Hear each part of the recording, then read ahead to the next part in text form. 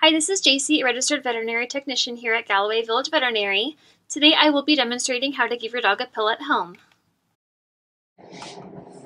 Okay, and now I have my patient Precious here. She's my own dog that um, volunteered to help us today. Um, but we're going to show you how to do the exact same thing, giving your, your animal pills, but with the dog.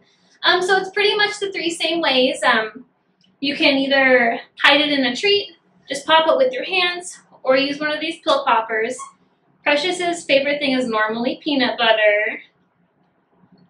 Um, so one way is to hide it in peanut butter, or you can do um, the pill pockets again. We'll see if Miss Precious wants this today. Good girl. She's a little nervous. All right, the second way is to use the pill poppers. With dogs, the best way is to hold behind their big canine teeth. Those big teeth are their canines.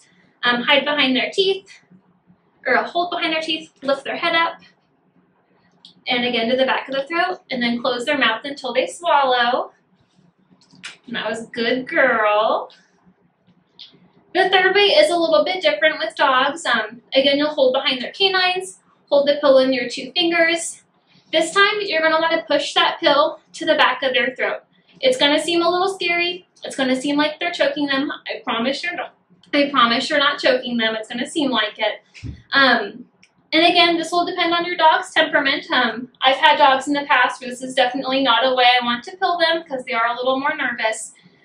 But you'll hold behind their canines, open their mouth, push your finger all the way to the back of their throat and down. And it's really that simple.